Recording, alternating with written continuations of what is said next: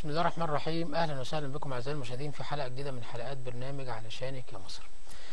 آه لما نبتدي الحلقة بحاجة فعلا تحسسك بالفخر بإن مصر مش بتشتغل لنفسها بس بتشتغل لخدمة جيرانها وبتشتغل في الاتجاه السليم.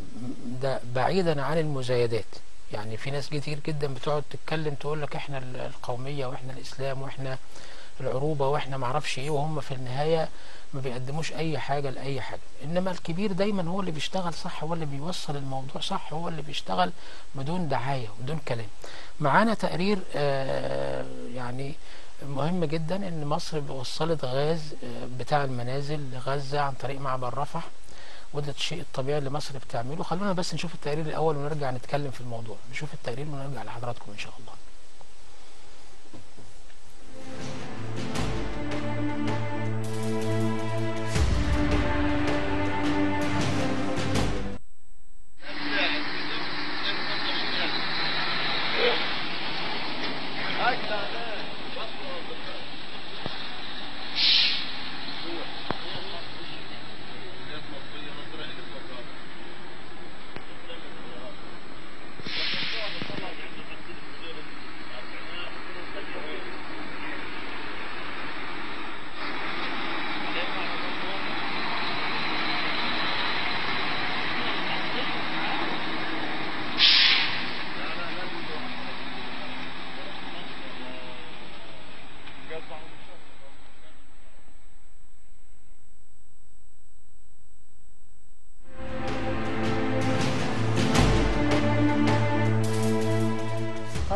إحنا يعني في الأخبار أعلنت الهيئة العامة للبترول الفلسطينية في قطاع غزة النهارده مصر سمحت بشكل رسمي بدخول كميات من الغاز المنزلي للقطاع عبر معبر رفح. في المقابل طبعا عبر معبر كف... كرم أبو سالم إسرائيل بتمنع ده وده الشيء الطبيعي لأن الكبير كبير واللي بيبقى بيعالج القضايا بشكل منطقي وبيهمه قضية المواطن وبيهمه قضية العربي بشكل قوي هو الكبير اللي هي مصر. لا يعني ليست منا على أحد ولا شيء بس أنا بتكلم لأن دايما إحنا بنسمع نداءات هنا وهناك و و و و وكلام كتير قوي وكلام كبير قوي ومفيش أي تنفيذ في أي حاجة خالص يعني. ده دور مصر. معانا آه زميلتنا شيماء آه عبد الرحمن آه تكلمنا أكتر بالتفصيل عن الموضوع. أهلا أستاذة شيماء. ألو؟ أيوه أيوه سامع مع حضرتك. أهلا وسهلا. إزيك يا أستاذة شيماء؟ أخبارك إيه؟ تمام الحمد لله. كلمينا عن موضوع الغاز ده و يعني اللي تعرفيه عن الموضوع. هو طبعا مصر النهارده استمرارا لتخفيف على قطاع غزة من الحصار وبسبب الحصار الإسرائيلي على دخول الغاز ودخول دخول الأدوية وأي مساعدات من قطاع لقطاع غزة فسهلت مصر النهارده دخول إجمالي بضائع 88 شاحنة. منهم 47 أسمنت 23 سولار شاحنة سولار 2 بنزين 11 غاز بمعدل 250 طن. 11 شاحنة للغاز. آه وأربعة من الأدوية خاصة بالأدوية. وكان كمان بيتزامن النهارده مع دخول آخر وفد للأراضي المصرية وفد الحجاج آه اللي بدأ من يوم الجمعة آه جمعة والسبت والحد والاثنين كان آخر فوج النهارده. بمعدل 2569 حاج للوصول لمطار القاهرة. تمام. إحنا بنشكرك على المعلومات الجميلة دي يا استاذه شيماء.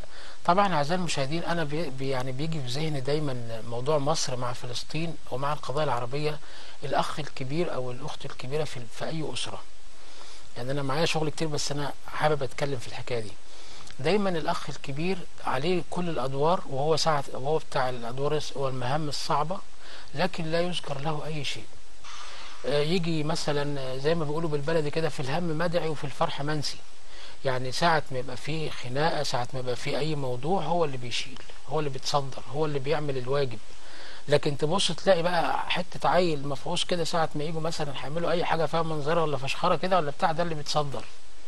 دي عادة الناس كده. فأنت تسمع دلوقتي وخليفة معرفش إيه والإسلام إيه وقضايا إيه وتبص تلاقي اللي بيتكلموا عنه قاعد عامل علاقات مع إسرائيل اللي هي عاملة الحصار نفسه. يا أخويا إذا كنت أنت جامد قوي وشملول قوي وحلو قوي ما تروح تقدم أي حاجة. ما تكلم صحابك اللي, اللي انت بتحبهم وبتعمل مناورات عسكرية معاهم وعمال تتودد لهم يمين وشمال. حتى يمكن قطر اللي هي يعني حتة حاجة قد كده من سنين السنين لهم تمثيل اقتصادي مع إسرائيل. بس النعرات والكلام الأجوف. لكن ساعة التنفيذ ما فيش. ساعة ما يبقى في حد مزنوق ما تلاقيش. لكن دايما الكبير الذي لا يذكر فضله ولا يذكر عمله خالص هو اللي عامل كل حاجة. دي طبيعة الناس. فاحنا طبعا بنفخر ليس منا على أحد طبعا إحنا بنفخر إن إحنا مصريين وإن حكومتنا وإن دولتنا هي اللي بتعمل الكلام اللي في الصميم. ده الموضوع اللي إحنا يعني لازم نفخر بيه ونعتز بيه.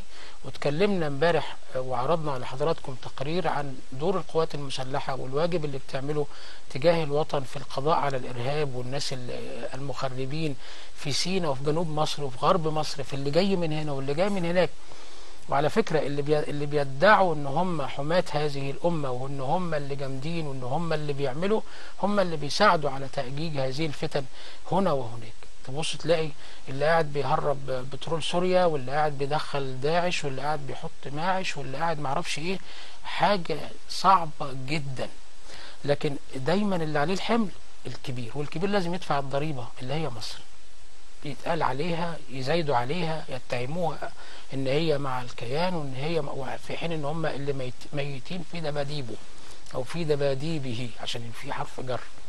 معانا ندخل بقى جوه مصر عندنا آه، برضو قضايا وإحنا زي ما قلت منهجنا في البرنامج اننا دايما آه، نفخر إن إحنا مصريين نثمن ونقدر دور قواتنا المسلحة ودولتنا وحكومتنا ونفخر بكل ده لكن لما نلاقي هذا لا يمنع اطلاقا إن إحنا نكون بننقد نقد بناء. عندي مشكلة مع مواطن مش مرتاح. إحنا بنقول, إيه علشانك يا مصر؟ اللي هي للمصريين فلا بد أن يكون المصري مرتاح مبسوط شايف إن الدنيا تمام.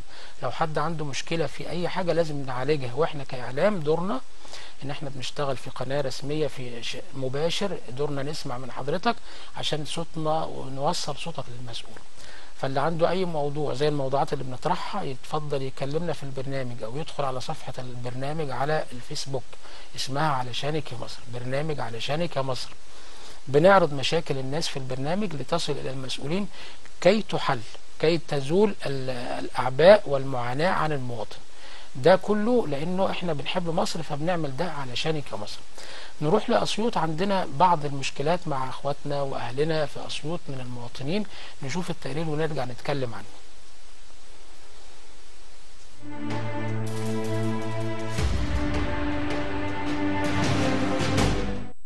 إحنا عايزين منكم بس انكم أنتوا توضحوا لنا إيه المشاكل بتاعه الفلاح اللي بيعاني منها الفلاح في قرية الزاوية مركز ومحافظه أسيوط. الكماوي إيه يعني الكيماوي ماله عندكم؟ الكماوي غالي والمية غالية. المية غالية. ب 150 و220 يعني يعني انت حاليا دلوقتي ما بتشوفش حد من الجمعية بيجي يشوف ال- الأرض أو بيشوف المشاكل بتاعتها بيشوف ال- مثلا كان فيها حاجة حاجة مضرة حاجة محتاجة مبيدات. هي مشكلتنا في الري ولا بس. بتعد الرأي ولا بتعد الجمعية. زرع نشف خالص. زي الكيماوي زي الغاز. إيه ال- إيه زي المشكلة الكهرباء لا موجودة إحنا موجودة موجودة بس السوق السوداء كتير. اللي إحنا موجودة في الوحدة الحكومية وهتيجي غالية ماشي.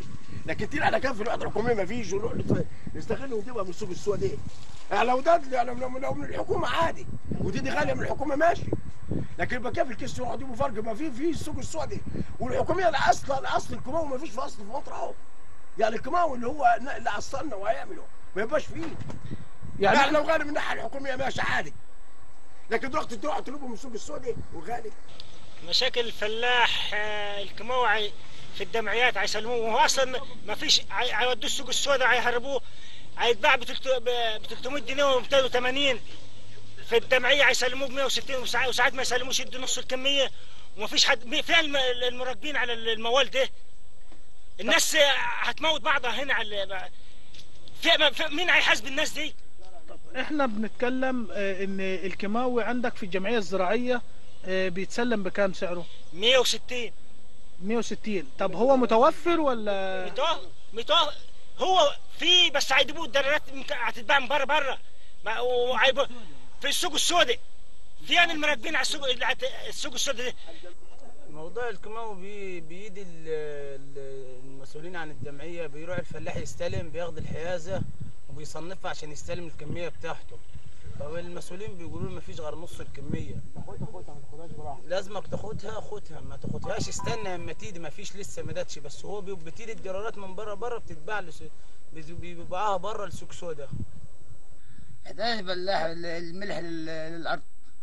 هو المعنى الصح الكيماوي ب 160 في الجمعية والسوق السنة 300 جنيه. طب هو متوفر في الجمعية يعني ولا إيه؟ ما الجمعية ما يدي موزعوا على بعضهم الجماعة اللي هم جماعة العطور العف... ما ده الجماعه اللي هم في الجمعية اللي هم الاعضاء. وعباد ما تروح يقول لك الكميه خلصت استنى ما يجي دورك. إذا ما يجي الكيماوي هيديك الحصة شختك أما ربي تهديد الحياة يديك النص. يعني أنت بتاخد الحصة بتاعتك كاملة ياخدها على ثلاث اجزاء تلت تلت تلت أو على جزئين. يعني هو ما بيديكش الحصة بتاعتك كلها مرة واحدة. آه. على مرتين اديها لك. أول يديك جوز نص الكمية وبعد شهر يديك نص الكمية الثانية بالنسبة للري كنا قبل ما يغلى الغاز ما يحسبوا ب 80 جنيه. النهارده جايين بتوع كل اللي عندهم مكنة ري. مستغلين إن ظروف الناس. جميع المكن عاوزين 130 جنيه. ما العارض ما يقول لهم 100 جنيه ما راضينش وما ما فيش آه، ما فيش مسؤول يسأل على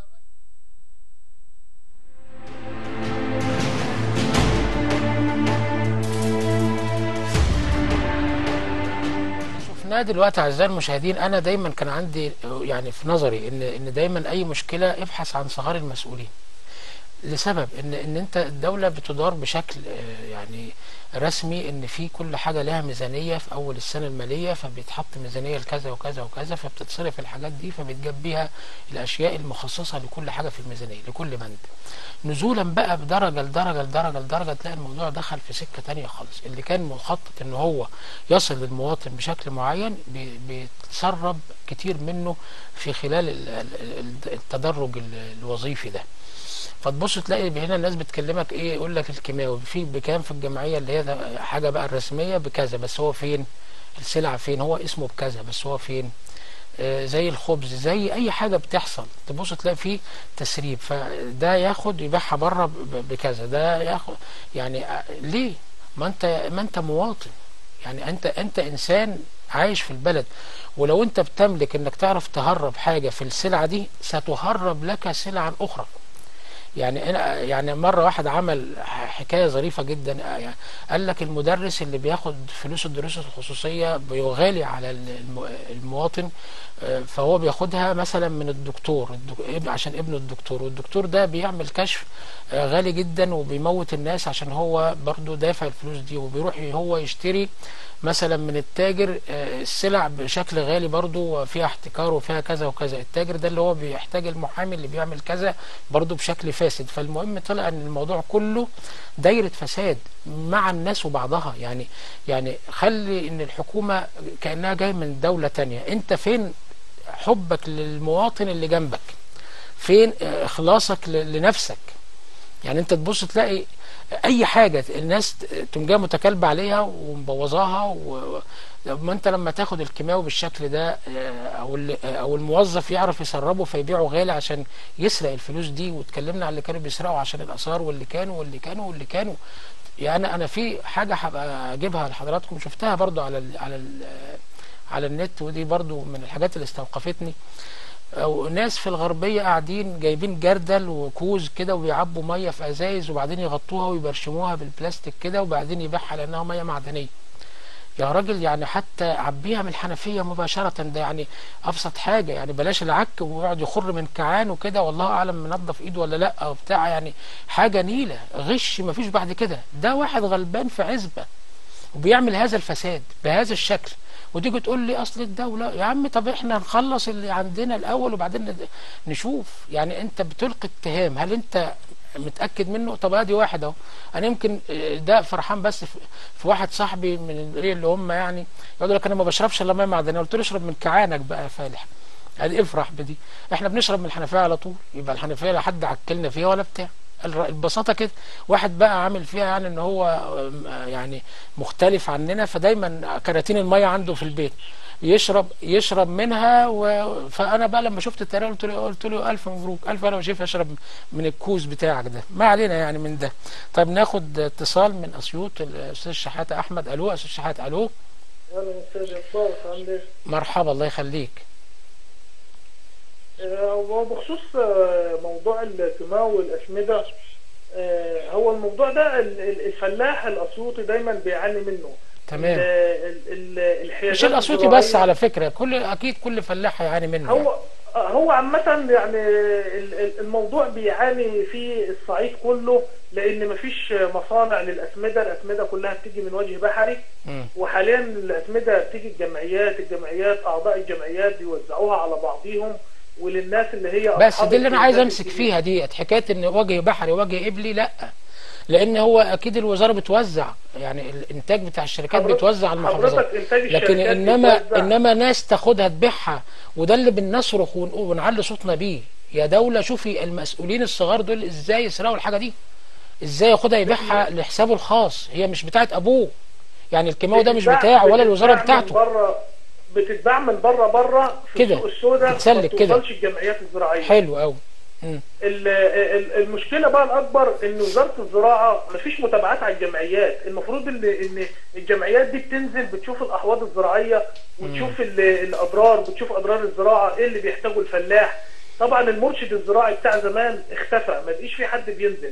كل اللي هم آه، بيقدروا يعملوه دلوقتي تجارة السوق السوداء في الأسمدة. الأسمدة بتيجي الفلاح انت يتابعوا اللي ولا تاجروا يا حاج شحاتة بس؟ ما خلي الناس هيقطعوا نفسهم يعني. هم دلوقتي بيتاجروا وبيطلعوا الحاجة من بره بره عايزهم يجوا يتابعوا. ما هم لو تابعوا هيكشفوا نفسهم يعني إحنا ما الله يعين والله. حضرتك حضرتك أنا. معاك مين هيحاسب الناس دي؟ آه ربنا سبحانه يعني وتعالى السيد الرئيس بيوجه وبيقول تنمية الصعيد آه، آه وبنسمع والله. في كل وسائل الإعلام بالظبط. تنمية الصعيد والناس دي مش ب... مش بتراعي الدولة أصلا ولا بالظبط والله بتضرها على فكرة هم محسوبين على الدولة. وده الكلام بنقوله ل- يعني لكبار مسؤولين الدولة دول محسوبين حضرتك عليكم ده في موضوع مهم جدا بخصوص الجمعيات الزراعية أيوه ال- أغلبية الأراضي تم التعدي عليها. وما زالت الحيازة الزراعية موجودة باسم صاحب الأرض اللي هي أرضه اتعدت واتعملت ما شاء وبياخد. بيها أسمدة. كمان. يعني الناس اللي هي الثقيله اللي معاها حيازات كبيرة بتاخد أسمدة والأرض بتاعتها مش موجودة على أرض الواقع. تمام الحيازة. موجودة والأرض ات- اتدنت وتم التعدي عليها وبياخدوا بيها أسمدة يعني إهدار للمال العام. مم. سرقة. سرقه مفيش رسمي. رقابة آه، مفيش آه. رقابة على الجمعيات الزراعيه طب انت اضفت موضوع جديد برضو يا ريت يعني يوصل لسيادة الوزير يعني ويتابع الجمعيات ويشوف الفساد اللي فيها. لأن طبعا هي بنشكر حضرتك أستاذ شحاتة شكرا جزيلا. طبعا هي عبارة عن مافيا هي المسألة عبارة عن إن هي آه، كتل في كل المجالات. تبص تلاقي بقى مجاميع مجاميع كده وعمالين إيه بيدوروها زي ما بيقولوا يعني. حاجة تحسر والله يعني ربنا يرحمنا برحمته. ننتقل برضو لحاجة تانية من الحاجات اللي بتزعل ونفسنا نشوف مصر من غيرها. برضو أنا على فكرة أنا أنا مش من النوع اللي بنسود الصورة والله ولا إحنا ب- إحنا بندور على الخلل عشان يتصلح. مصر دي حاجة قماشة بيضة جميلة جدا أصبح فيها بعض النقاط السوداء من هؤلاء الفاسدين. فإحنا عايزين نغسلهم عايزين ننظفها عايزين نشيلهم عايزين نمحيهم. عشان نعرف نعيش كويس. يعني هي دي, دي فكرتنا وده اللي بنحاول نوصله. بنحاول نصرخ لكل مسؤول إن إن نشوف اللي عندك بيحصل إيه.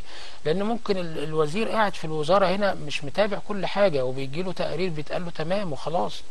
فإحنا بنوصل لك يا معالي الوزير إن إن عندك ناس قاعدة بتسرق كذا بت- بتفسد في كذا بتخلي ال- الشعب نفسه ينقم على الدولة ويقول ده الحكومة فيها والدولة وبيعملوا راح فين وادى منين وتلاقي بقى ناس قاعدة تتصيد ده تهاجم بيه اللي هو ال- ال- ال- النقد الهدام. لا إحنا مش عايزين كده. لما نصلح ده بنقفل الطريق عليهم. ده الكلام وده الموضوع. عندنا بورسعيد آه، برضو كان كلنا نفتكر أيام أيام ما كانت في المنطقة الحرة. طيب ناخد اتصال قبل ما نروح بورسعيد آه، معانا آه، أستاذ محمد ألو؟ ألو؟ أهلا وسهلا. اتفضل. السلام عليكم. عليكم السلام ورحمة الله وبركاته. أنا بصراحه مكلمك موضوع أنا كنت نفسي اتطوع في الجيش. نفسك تتطوع في الجيش. جميل. آه. يعني أنت خدمت الجيش وعايز تتطوع تاني ولا أنت لسه ما؟ أنا خدمت كنت في حرس حدود كاب 13 آه. بصراحه نفسي أتطوع. واتطوعت وطلعوني آه، الهيئة كشف الهيئة. آه. كانش معايا واسطه و. طيب يعني أنت منين؟ من المحافظه الغربية. الغربية؟ آه. طيب أنا أنا طبعا ما أعرفش ده صراحة بس أنت صوتك برضو واصل وحاول تقدم تاني يعني. آه وده شيء طبعا آه يعني حاول تقدم تاني وإن شاء الله ربنا يوفقك بإذن الله تعالى. شكرا يا أستاذ محمد. نروح بقى أعزائي المشاهدين لبورسعيد بنقول لحضراتكم كلنا بنفتكر لما كانت بورسعيد فيها المنطقة الحرة والرواج الاقتصادي والدنيا ماشية وكانت حاجة ما شاء الله هنا يعني. وحصل بقى ظروف الله أعلم إيه سببها. وبقى المهم سيبك من إن بقى يعني ما بقاش فيها هذه التجارة لكن موضوع التهريب. يعني التهريب اللي خلى آه، الناس حالها وقف تماما. اللي عنده محل شغال فيه ثلاثة أربعة مش عارف يشتغل اللي عنده اللي عنده اللي عنده خد عندك بقى جميع السلبيات نشوف مع بعض تقرير ونرجع ننوع عن هذا الموضوع نتكلم عنه. اتفضل. نعمل لقاء مع أحد التجار بعد حالة الكساد اللي شفناها طول الطريق دي حميدي وتجاري ما فيش زبون بيشتري حاجة. المحل والتاجر اللي في المحل. ما فيش زائرين. ايهاب ايهاب حمد حضرتك صاحب المحل ده؟ آه، في إيه؟ أنا شايفة أنا جاية الحميدي والتجاري من أوله من محمد علي. ما فيش زبون بيشتري من المحل ما فيش ما فيش حد ماشي أصلا. والله الموضوع بقى له أكتر من ثلاث أربع من من, ثلاث سنين من يوم السيد المحافظ عادل غضبان مسك آه، مدينة بورسعيد ومدينة المدينة الحرة والموضوع بنفس الطريقة كده الناس تعبانة ولا بتستفتح ولا بتبيع ولا بتشتري وهم خاربين البلد وفاتحينها على مصراعيها. يمين وشمال ومن كل حتة البلد مفتوحة. إزاي؟ أنا مش فاهماك يعني عملية التهريب المقنن اللي السيد المحافظ قدام عينيه هو والسادة النواب ومفيش حد بيتكلم ولا حدث ولا حرج. النهارده مفيش زائرين بتيجي بورسعيد البضاعة بيدو- التجار بيدوها لنا غالية بناء على إنهم بتطلع بتطلع بره البلد. بتتهرب يعني؟ بتتهرب. فالنهارده مفيش زائرين بسبب إن البضاعة غالية وبسبب إن الناس برضه مش عارفة تبيع وتشتري وفي نفس الوقت مفيش زائرين بتيجي البلد وحتى ولاد البلد غلابة برضه مفيش حاجة. البلد تعبانة زي ما حضرتك شايف إيه سبب الكساد ده يا حاج الكساد اللي موجود فيه ده نتيجة عمليات التهريب اللي هي بتتم والبضائع بتطلع داخل في الأنطرة وبتطلع في الأنطرة بسعر أقل مما بتوصل بورسعيد هنا. اهوت. إزاي بتتباع بسر أقل وأنا بشوف التهريب أو عمليات التهريب اللي الواحد عارفها أو معلوماته عنها ان البضاعة دي بتطلع كمان بفلوس يعني بيشتروها من التاجر بفلوس ما بيشتروها من هناك. ما البورسعيدي هنا اهوت ما فيش بضاعة بتخش له هنا في بورسعيد البضائع كلها بتخش في الأنطرة وفي مولات الأنطرة. فالتاجر البورسعيدي بيروح يشتري بالأنطرة بدل ما البضاعة بتنزل بورسعيد لا بتروح الأنطرة. بس فالحركة التجارية في الأنطرة النهارده غير الحركة التجارية في بورسعيد. يعني عايز تفهمني إن التجار من هنا بيشتروا من بالظبط. عشان ما فيش بضاعة بتقعد هنا كله بيتهرب؟ كله بيطلع بره. كله بت... ومين بقى اللي بيهربها؟ مين؟ أصلا مش تجار بورسعيديه أمال مين؟ ولا البورسعيديه بيتهرب بيشوفوا البطايق الاستيرادية اللي هي الناس بتشتريها بتشتريها منين؟ وب- وبتطلع من كلهم تجار يا إما تجار القاهرة يا إما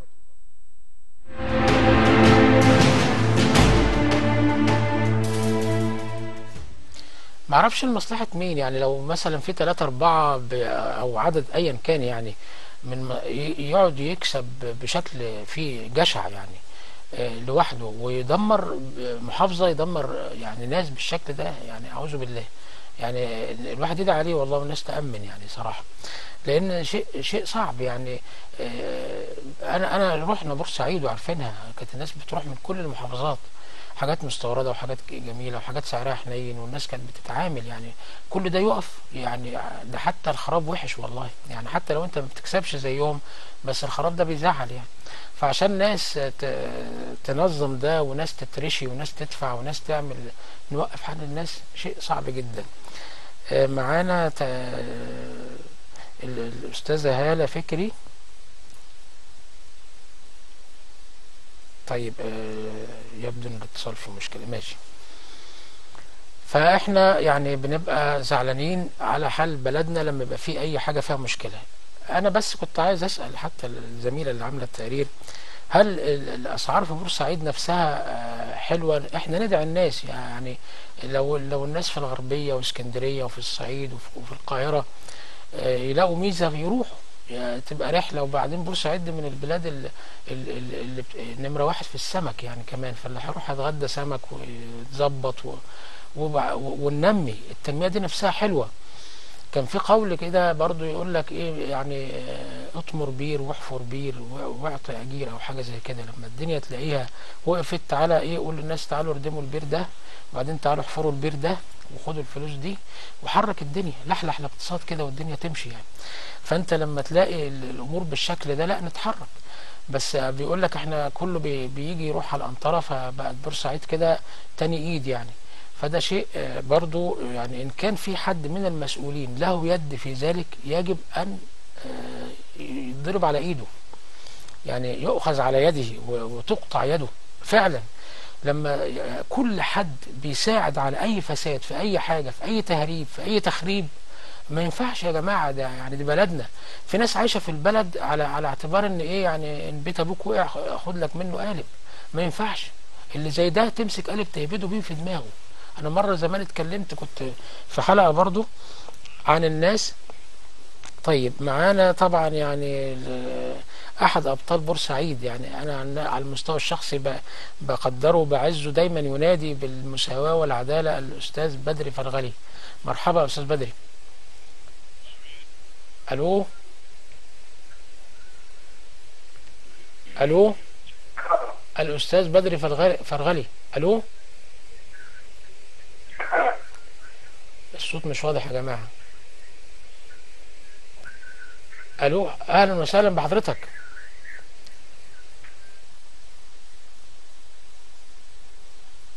في مشكلة في الاتصال يا أستاذ هيثم. أنا مش سامع. آه. ألو؟ ألو. أهلا وسهلا بحضرتك. ألو أستاذ- الأستاذ البدري فرغلي.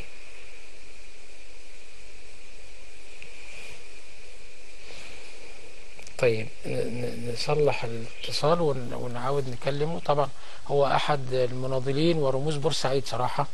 يعني له بصمة كبيرة جدا في المناداة والمطالبة بحقوق أهل المعاشات تحديدا. بس إحنا كنا هنكلمه في موضوع التهريب ده. قضية من قضايا بورسعيد برضو. طيب إذا يعني تظبط الاتصال ن- نرجع نكلمه. معانا بعد كده قرية أبو الدهب آه، برضو في عندنا مشكلة. نشوف آه، المشكلة ونرجع نتكلم مع حضراتكم إن شاء الله. طيب الاتصال اتصلح. ألو؟ ألو الأستاذ بدري فرغلي أيوة. ألو؟ أهلا وسهلا بحضرتك. الصوت واطي. الصوت واطي أنا مش عارف أسمع حضرتك والله. أنا أنا سعيد إن طب علي صوتك شوية. أنت صوت ولا صوتك اتبح من المناداة بال بالمساواة و... وعدم التهريب وحقوق أهل المعاشات. لا والله يا عم أنا أنا مش سامع من أنا سامعك بسيط. وأنا وأنا سامعك بسيط بس. قلبي سامعك بقوة. أنا يعني؟ برحب بحضرتك. كلمنا عن مشكلة التهريب أو مشاكل بورسعيد عموما. أنت رمز من رموزها. بس خلي بالك بتوع جماعة الإخوان عملوا لي مداخلة برضه وقالوا لي إحنا قناة مصرية واتضح ان هم مكملين. إحنا ملناش دعوة. إحنا قناة في النايل يعني سات مش- ما أنا من الوقت اللي بقيت قاعد خايف في الوقت لا لا ما عشان كده موطي صوتك ولا إيه؟ لا كلمنا كلمنا أسماء قنوات. لا إحنا إحنا قناة في النايل سات وكلمنا عن المشاكل. إحنا كنا بنتكلم عن مشكلة التهريب وإزاي وقفت حال الناس في بورسعيد. فعايزين تدينا كده فكرة انت رمز من رموز بورسعيد عايزين تدينا فكرة عن اللي بيحصل. هو مفيش حاجة خلي بالك في ضجة فعلا جاءت عبر فيديو. آه، اتذاع وفي ضجة إعلامية موجهة نحو بورسعيد أيوه. واتهام المدينة بشكل مباشر بأنها بلد التهريب وبلد الفساد أمر لا يليق. تمام. لا يليق بمدينة بمكانة بورسعيد أن آه، تتهم هذه الاتهامات. طبعا. وبعد بعدين ما, تبقاش بورسعيد الشماعة. الشماعة لكل أي فشل. نعم. في الاستيراد في التصدير في الاقتصاد ما نبقاش إحنا الشماعة. تمام. طيب إحنا بنشكر حضرتك. اللي حدث حتى في الفيديو ده. آه.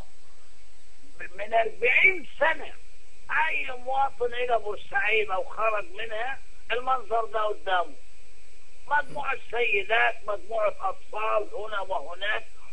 وده شيء طبيعي جدا موجود.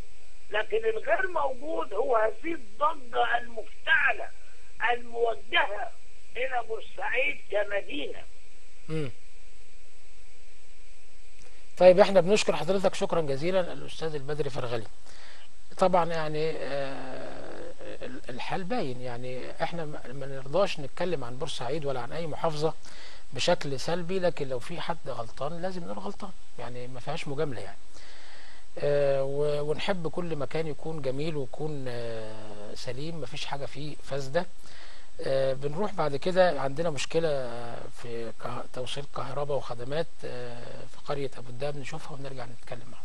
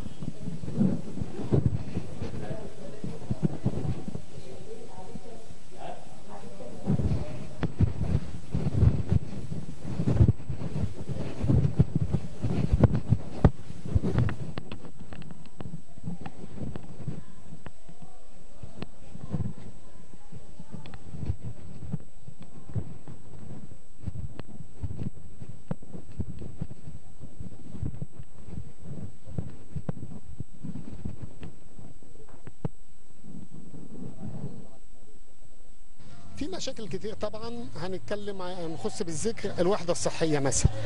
آه، طبعا بنروح آه، الدكاترة من المفروض له مواعيد عمل. طبعا هم بيتخرجوا بيتكلفوا في الوحدة الصحية. ممكن يجي يومين في الأسبوع. خدت بال حضرتك؟ الوحدة طبعا ما فيش فيها أي خدمات.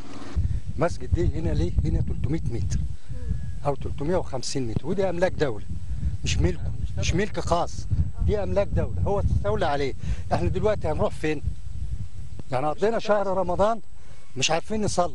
وإحنا حاليا يعني ما شفنا في- الدنيا بحالها نشوف المسيحي بيبني كنيسة. لكن إحنا دلوقتي المسجد ده ما إحناش عارفين. حتى لا إله إلا الله والله أكبر محرومين منها. يعني نروح فين؟ أمال المتطرفين موجودين ليه؟ التطرف اتوجد ليه؟ الإخوان جم ليه وانتشروا ليه؟ عشان كده. أما المسجد يتقفل أما أنا فين بقى؟ أروح فين؟ يستقطبوا الأولاد نروح فين؟ أما أولادنا دول يروحوا فين؟ الشباب ده يروح فين؟ يعني ده هيكبر بكرة وده هتكبر وهيصلوا. هيصلوا فين؟ صلوا على الطريق؟ نقطع الطريق؟ فهو دلوقتي حسام الزكي أهو آخر ملكه آخر ملكه. حضرتك صوري ده اهو آخر ملكه أهو. مقفول هو اهو تعالي حضرتك هنا علشان تشوفي على الطبيعة مش تصوير زي حضرتك اهو اخر ملكه مبني عليها اهو كلها تبع المسجد. هو دي بالليل جاب بلطجية جاب بلطجية وجه عمل العمل ده بالليل.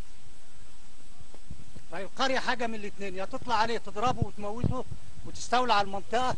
فإحنا دلوقتي بنقول يا ناس يا حكومة يا يا رئيس وزراء يا رئيس جمهورية يا محافظ يا رئيس مجلس مدينة ادينا حقنا إحنا عايزين نصلي.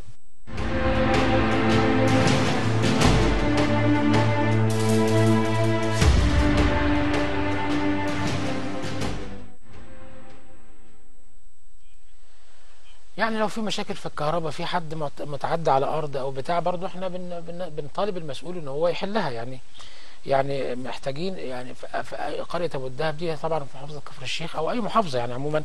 إحنا عايزين أي حد عنده آه، آه، أي مشكلة زي كده المسؤول يحلها أو المتعدي أو المغتصب أرض أو كذا نحاول آه، دايما نصل لحل فيها. عندنا موضوع تاني بقى يعتبر من الموضوعات المهمة جدا ومنتشر جدا آه، بشكل كبير. نهر النيل ده شريان الحياة في مصر. يعني إحنا آه، سبحان الله يعني دي مصر دي هي هبة النيل يعني. فلما يحصل التعدي على هذا النهر اللي هو بي- بيمدنا بالماء اللي هو ربنا جعل منه كل شيء حي وتلاقي ناس تيجي تتعدى على نهر النيل وتبني على ضفافه آه، حاجات آه، أقفاص سمكية ومعرفش إيه أو حد يجي يبني عليه. أنا مرة كنت معدي في بنها ولقيت بيتعمل إزالة لعمارة مش مبنية على على النيل كده لأ ده مبنية على الحتة اللي هي من, من تحت اللي هي آه، خلاص ثواني وتبقى في المية نفسها يعني مش على الطريق من فوق.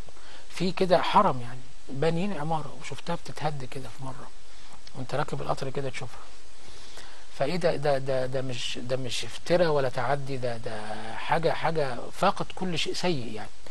فتبص تلاقي واحد يجي جاي آه، باني حاجات على النهر آه، أو أو أو فروعه بقى. ما هي النيل مش شرط اللي هو ماشي معانا آه، النيل النهر نفسه يعني.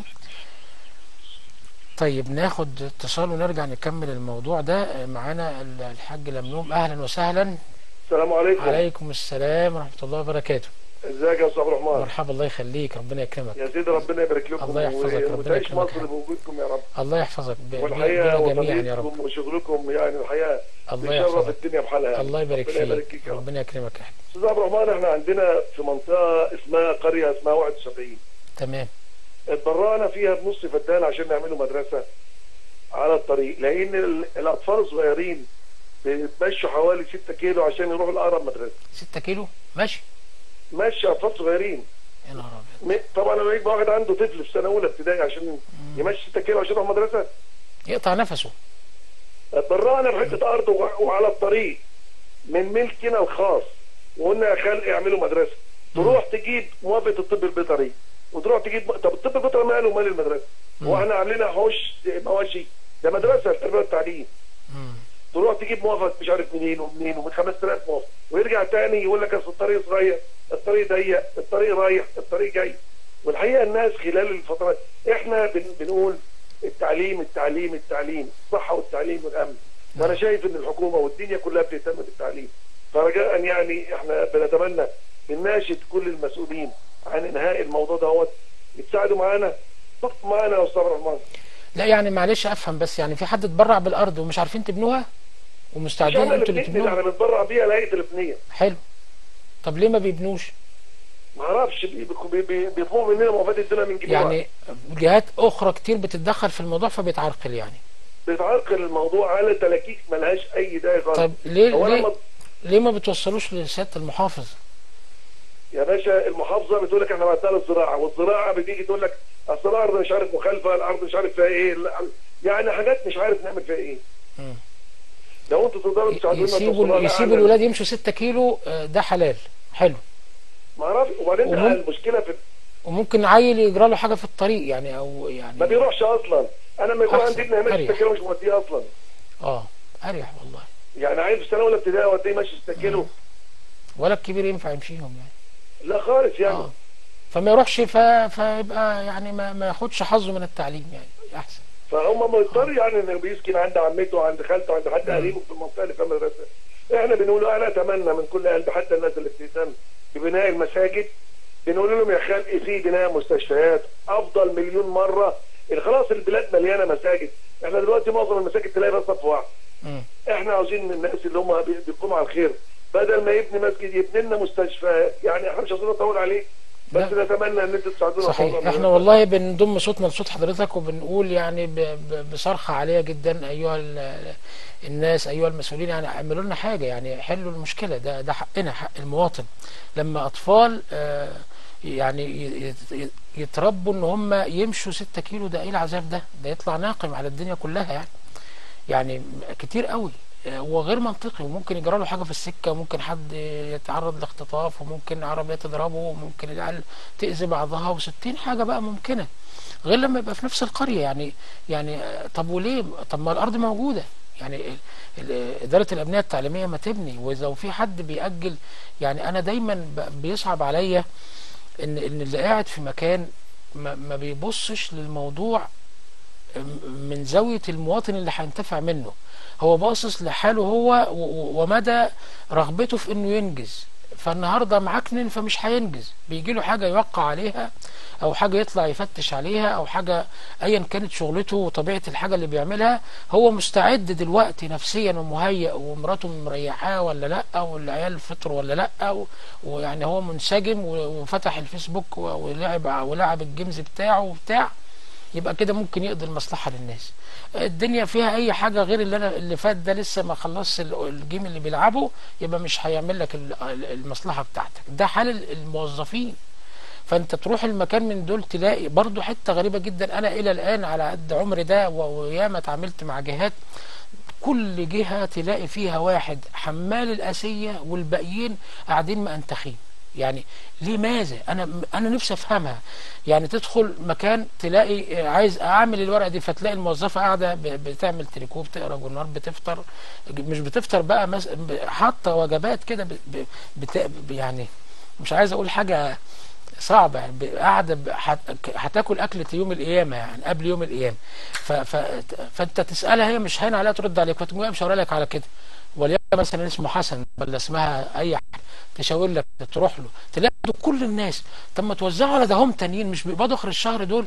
أنا اللي بيغيظني في كده أكتر حاجة خالص يعني إن ده ليه راضي. يعني أنا مش عارف أفهمها. والله العظيم تروح أي حتة. وجربوا وفكروا فيها. هتروح تلاقي ناس قاعدة ما بتشتغلش وواحد بس ولا اتنين اللي شايلين الشغل كله. لازم لازم. طب هو قسموها كده. ده رضا ليه؟ ما يقول أنا أعمل أنا عايز آكل أنا كمان. وأقرأ جرايد. بص من إيه آه، الأرض دي هتتبني كذا فلازم تاخد براءات من الجهات الأخرى اللي تكون فيها تبع الآثار تكون تبع الزراعة تكون تبع الري تكون تبع كذا. فبتاخد مثلا حاجة زي إيه آه، مثلا على حسب معلوماتي إخلاء طرف أو براءة إن هي مش تبع الحاجة دي. فيبقى بالتالي يجوز استخدامها في كذا. لأن أنت ممكن أرض حد متبرع بيها حامل بيها حاجة وتكون خاضعه لأي جهة من هذه الجهات. بس الموضوع ده مش محتاج إن أنت تقضي عمرك فيه عشان تعمله. مش محتاج إن أنت تفضل طول حياتك عمال تقدم في الورق وتتابعه وبعدين يضيع فتقدمه تاني. ليه؟ لأن التاني لسه ما خلصش الجيم اللي بيلعبه. حقيقي مش تريقة. حقيقي ده اللي بيحصل. لو الناس عندها ضمير وبتخاف ربنا وبتحب هذه البلد جاي عامل إيه؟ جاله موضوع يتخيل إن ممكن يكون حد محتاج دي النهارده قبل بكره فلو هو مطلوب منه ينزل يعمل معاينة وتفتيش ويرفع مقاسات وما أعرفش إيه جري نازل. مطلوب يوقع يوقع. مطلوب إنما يفضل راكن الورق عشان بيبعت رسالة لحد. وتروح تكلمه يشخط فيك يعني كما لو كان هو اللي بيعمله هو الصح واللي أنت بتعمله ده هو التطفل. ممكن بعد إذنك يا أستاذ كذا كذا. يا عم مش قاضي مش وقته. يعني ح- حاجة زي كده يعني. فربنا يرحمنا من هؤلاء. يا رب. والله يعني طب أنا كنت أقول حاجة واتقطعت بسبب المداخلة اللي فاتت. المهم طيب إحنا هناخد الأستاذة رانيا الشهاوي من كفر الشيخ. أهلا وسهلا أستاذة رانيا. ألو؟ أهلا وسهلا. أهلا بحضرتك؟ أهلا وسهلا مرحبا. كلمينا بقى عن الدنيا اللي عندك التعديات وعن ال- المشاكل دي كلها.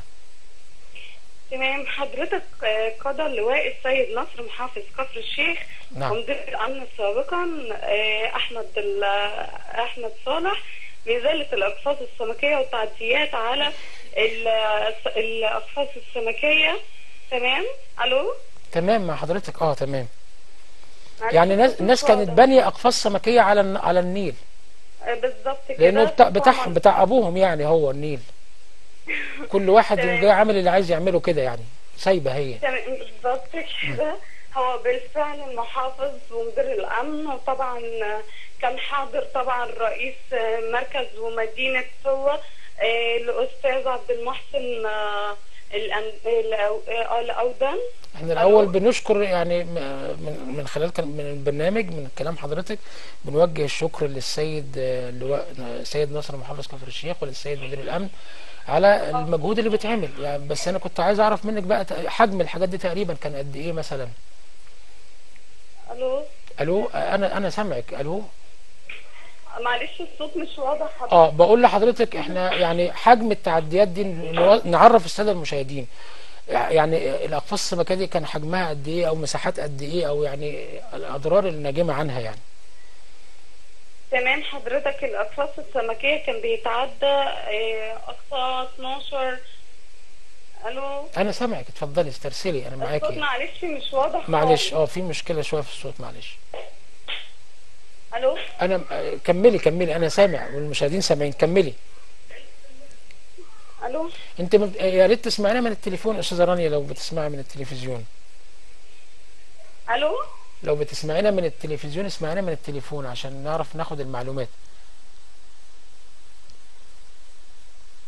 طيب إحنا نحاول نصلح. ال- نعيد الاتصال تاني يا شباب. معايا سامعاني يا أستاذة رانيا ولا لأ؟ ألو يا أستاذة رانيا. معلش الصوت بيقطع طيب انت. احكي لي طيب بس انت حجم التعديات دي قد إيه؟ أو ال- الجرائم دي كانت قد إيه؟ تمام هي الجرائم بتتعدى أقصى ألو مع حضرتك. سامعني؟ أنا سامعك والله قولي بس يلا قولي. معلش الصوت مش واضح ومش واضح طب قولي بس يلا. هم. ألو؟ هو طبعا محافظ كفر الشيخ ومدير الأمن لما عرفوا بالاقفاص السمكية اللي بيتعدى حدودها أكتر من 12 ألو؟ لا لا لا هو في مشكلة في الصوت بنشكرك أستاذة رانيا. طبعا إحنا طبعا يعني أكيد لما تلاقي حاجة إيجابية من المسؤول لازم نوجه له الشكر والتحية السيد دلوقتي سيد نصر محافظ كفر الشيخ على اهتمامه بحاجة زي كده لأن نهر النيل ده حاجة تخصنا كلنا وحاجة تهمنا كلنا ودي ميتنا اللي بنشرب منها واللي بنزرع منها وهي شريان الحياة في مصر. فلما يجي ناس آثمين ظالمين معتدين يجوا يقعدوا يتعدوا على هذا النهر ويبنوا عليه حاجات ويستغلوا أراضيه أو ضفافه أو يعني حرم ال- ال- النيل أو الترع الم- المتفرعة منه. ده شيء طبعا لا نرضاه. فلما يجي المسؤول بسلطته ويأخذ على أيديهم ويعاقبهم ويزيل هذه التعديات يبقى ده شيء ممدوح وم- ومشكور. ونرجو إن كل مسؤول في كل مكان يحذو حذو هذا المسؤول المحافظ المحترم. كل حتة فيها فيها تعديات آه في تعديات. والناس لو أنت بس غفلت كده تلاقي الدنيا كلها عملت شغل. تيجي عند أي أجازة كده تلاقي بالليل ناس بنت هنا وناس عملت هنا وناس خطفت من هنا وكله كده. كما لو كان مش بلدنا. زي ما يكونوا جماعة هليبة كده نزلوا مكان ويلا تعالى يا جدع.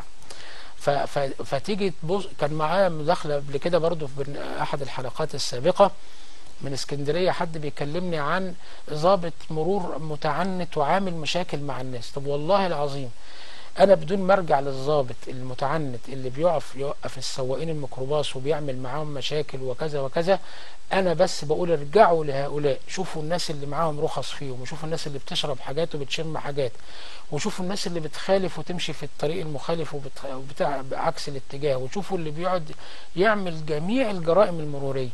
فتيجي تبص تلاقي مواطن يقوم قايل لك إيه، شوف الدولة عاملة إزاي سايبه الناس دي عاملة كده ليه؟ هو دولة ما أعرفش كذا وكذا. فيجي واحد ضابط يقوم جاي يبدأ يظبط الأداء يقف عند إشارة مرور وينظم الدنيا وياخد المخالف. يقوم مهيجين الدنيا يقول لك شوفوا بقى الظلم يعني طب أعمل لك إيه؟ يعني مطلوب نعمل إيه؟ إيه المطلوب؟ فإحنا لا لازم المطلوب إن إحنا نؤيد اللي بيمشي مع الحق. حتى لو هيعمل إيه باللازم. لازم طالما حق لازم نحترمه ونقدره.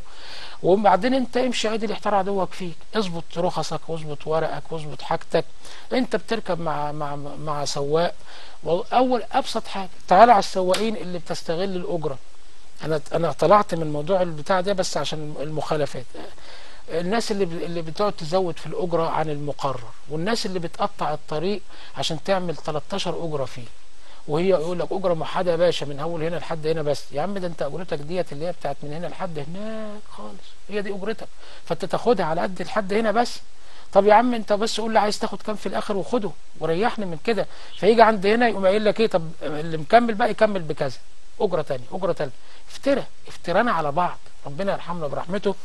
إحنا يعني كده وقت حلقتنا انتهى. نلتقي بحضراتكم غدا إن شاء الله واللي عنده أي موضوع يتواصل معنا عشان إحنا مراسليننا في جميع المحافظات يبتدوا يصوروا ده ويبعتوا لنا زي ما حضراتكم كده بتشوفوا بحيث إن إحنا نتعاون مع بعض ونحل مشاكل بعض حتى تكون مصر جميلة وده عشان خاطر إحنا بنعمل ده علشان كمصر. نشوف حضراتكم بكرة إن شاء الله. والسلام عليكم ورحمة الله وبركاته.